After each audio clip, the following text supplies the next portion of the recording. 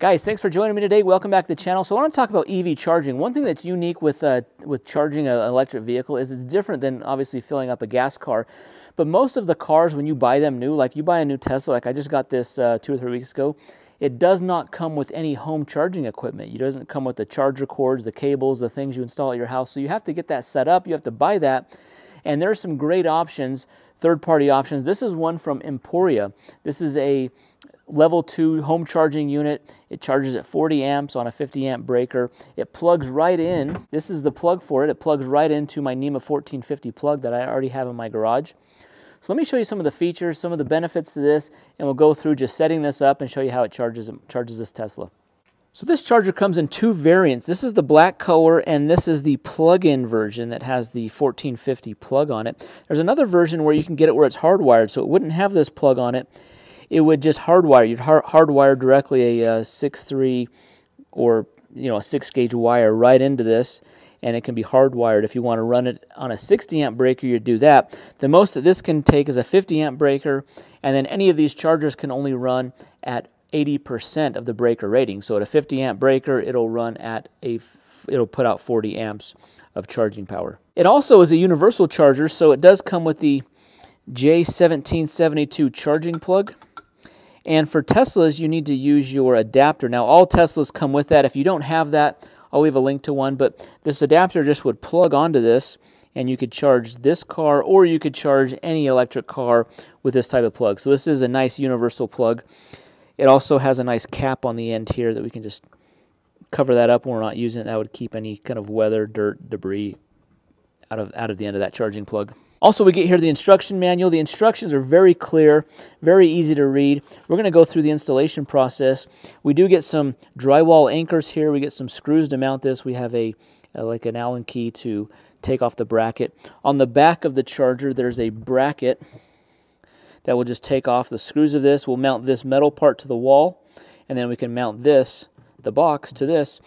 One thing that's unique with this charger that I haven't seen on any other charger, and I really like this, is there's a plug holder right here.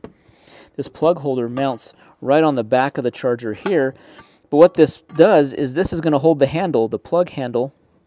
And the reason I like this is because with as a Tesla owner, I only own Teslas, this will hold this will hold this plug even when the adapt even when the, the Tesla adapter's on there. Towards the front of the car, here is my NEMA 1450 outlet. I had this installed when I first got my electric car four years ago.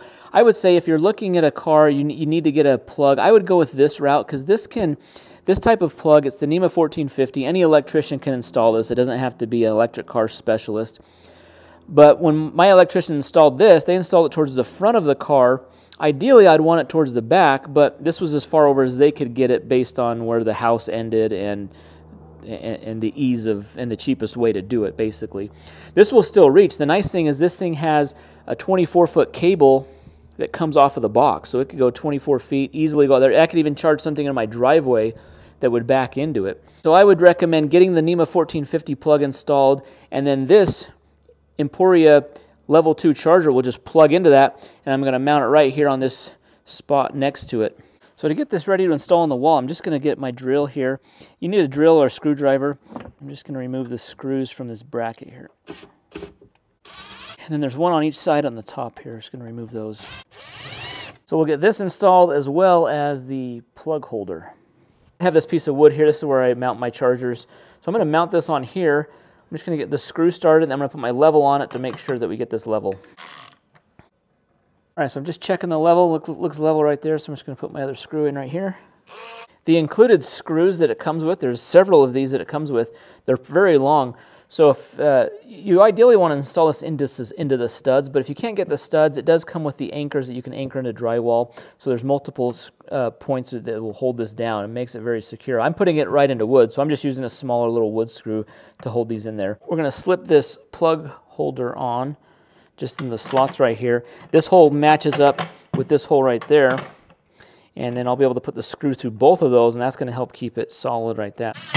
Now, if for some reason your application doesn't allow you to put it right here, you can install this. There is three screw holes this, so if I wanted to install the plug holder over here or in a different location, I could. I think it works well right here next to the charger. All right, with the bracket installed, I'm ready to mount this up there. So there's just those four screws that just hold this on there. So I'm just gonna get this into place like that. And then I'll just get my drill and put all four screws in. All right, so that is it for installing this as far as setting it up on the wall. Really simple. I already had this already piece already set up, but really the hardest part is just going to be, you know, finding the studs, getting it anchored to the wall, getting this set up. That's really simple. And then if you can see here, my plug, this NEMA 1450 plug will fit very easily right through here. Let's plug that in. We already got power. This plug handle will just sit like that. Very accessible, very easy. So if I have my Tesla adapter plug on here, this can just be hung right on there. I don't have to worry about taking the adapter off and clicking it in somewhere. This is a great design. I really, I really like the functionality of this, the ease of use.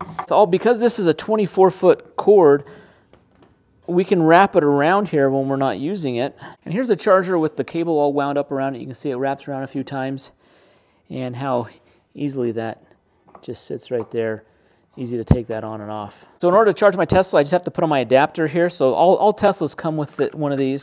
So I could leave this. So when I'm when I'm done charging, I can just leave the, the adapter on. I don't have to keep taking this on and off. That's been my biggest complaint of other J1772 universal chargers is you can't really store the plug that well because there's an adapter on there. So this one has a great solution for that. Now this does have a Wi-Fi option, so it has an app we can download. We can download the app. We'll connect this to Wi-Fi. There's some great features on the app. For example, like time of use. We can set up time of use where the car will only charge during certain times when energy is the cheapest, so electricity is the cheapest. Also, if you have solar panels, you can set it up so that when excess power is being generated by the solar panels, maybe right in the, in the middle of the day, it can also be used to charge the car. So there's some great there's some great functions with this that really help maximize your charging, your efficiency, and keep your costs as low as possible. It's the Emporia Energy app. So if we get that, download it, we're just going to create an account. So now we've got the app, we've logged in with our account. It asks us what product we want to add. We want, we want to do an Emporia EV charger right here. I'm going to go directly to setup here. Okay, it sensed my charger right there. Connecting to the device and your Wi-Fi password, you'll be able to log it. It'll be able to set up the Wi-Fi on the device. Before we set up the breaker, now I do know that this plug here has a 50 amp breaker. So that has 50 amp breaker, 40 amp max. That's the default option. You can change that if you have a different I can set a pin number if I want. Checking for updates, if there's any firmware updates, it can do that. We can see different graphs. and see how much power we've used. So we haven't used any yet. Here's the management section where we can do time of use, peak demand management, excess solar management, uh, utility program, savings opportunities. So this has a great, I haven't seen a lot of these options in other apps. I, so I really like that they have, they really try to maximize your electricity use all right, with it set up on the app and it's ready to go, it's plugged into the wall. Let's try this on the Tesla. So let's take our plug off here. We're going to un unwind some of the cord and we're going to stretch it to the back of the car here. Again, we have 24 feet of cable, so this could stretch out quite a ways. Okay, I'm stretched out all the way to the back of the car here. So it could go quite a ways. Let's, let's open up our charge port here. So again, we have our Tesla adapter on the end here so that we can plug in there. We just plug in like we do normally. Let's get inside the car and see what kind of charging rates we're going to get. So the car automatically recognizes that the max amperage that it can pull is 40 amps. So that, that was already set up on the charger. 40 amps here, 240 volts, and we're charging at about 30 to 31 miles per hour, which is a great charging rate. So for example, this is the Tesla Model Y. If it needs to charge up 100%, it's like you know 310 miles total. So if we're doing 30 miles in an hour, we have to charge up you know from zero all the way to 100%, which really will never happen. I'll never get this down to zero. But it could do that like in 10 hours overnight. It could do that. So I I really don't need to have faster charging speeds for my use. Yeah, 40 amps. You can get the hardwired version that would be able to go at 48 amps if you needed faster charging rates. You could do that on a 60 amp breaker. But for my use, this would be plenty. If you're parking at home, if you're parking at night, and you know my car usually is usually charging you know 10 to 12 hours overnight anyways, so this is plenty of charging. Now some cars don't have you know the ability to schedule charging, stop, unlock, adjust the current. So that's why this Emporia charger does have that option on its app. But, you know, with Tesla, they do have schedule. You can have time of use. You have a lot of that on the Tesla app. But this is a great charger. Let's say if you have multiple EVs at your house or maybe a non-Tesla car. You've got a Nissan, a Kia, Ford, Chevy, whatever it might be, a Lucid, Rivian.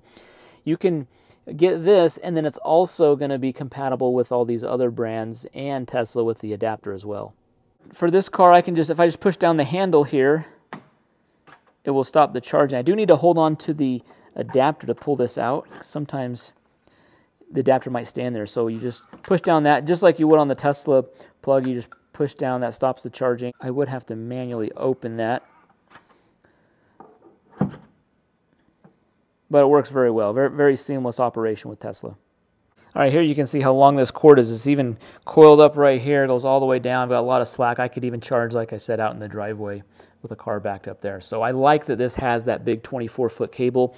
This is also weatherproof. So if you wanted to install this outside, definitely doable. Get at least a weatherproof plug enclosure if you're going to plug into the, the NEMA 1450 plug here. And this looks really nice on the garage wall. You can get the black or the white to match your garage. So overall, guys, I'm impressed with this charger. I like the features. I like this, this plug holder right here. I really like that feature. The app is very easy to use. It's very intuitive. It's a great, great monitoring option for the app. You've got Wi-Fi, so you've got instant updates to it. The cord length is very, very nice on this. 24 feet from right here all the way to the back of the car, so I don't have to get an extension cord out. You don't have to have the plug right next to the car. This is in the front of my car and it reaches all the way to the back or even my driveway, so a lot of versatility when you have a longer cord. It's also really easy to install. This didn't take very long at all. The big thing is that having the plug already installed in my garage, that's a big help. So if you're looking at an EV, you're looking to see what charging options, get the NEMA 1450 plug installed in your garage with the 50 amp breaker. That's just going to make a lot of possibilities with EV chargers like the Emporia one here. You can just plug right into it and all you have to do is mount it because mounting was very simple in this. Guys, well, thanks for watching the video. Big shout out to Emporia for partnering with the channel for this video. This is a great value. I'll leave the link down in the description below. Feel free to leave your comments, hit that thumbs up button, subscribe to the channel. We'll see you in the next one. Thanks for watching.